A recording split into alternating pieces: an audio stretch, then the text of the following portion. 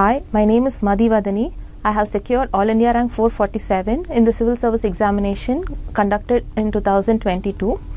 Uh, I have previously given three interviews and this is my fourth, fourth interview in the Civil Service Examination and uh, I was able to secure a rank th- in this attempt and uh, I have a very long connection with Shankar IAS Academy.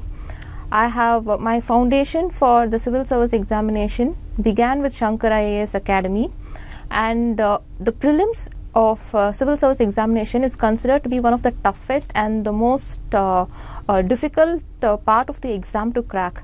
I completely relied on the pre-storming test series of uh, Shankar IAS Academy throughout all the attempts that I gave in the civil service examination.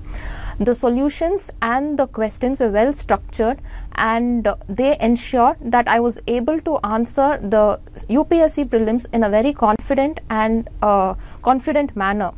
And uh, the faculty of Shankar IAS Academy, starting from Shankar sir himself, who is uh, not with us today, and Rajita ma'am, Arun sir, Ganesh sir, Chandru sir, all of them have been very encouraging and supportive throughout my journey in the civil services. Thank you very much.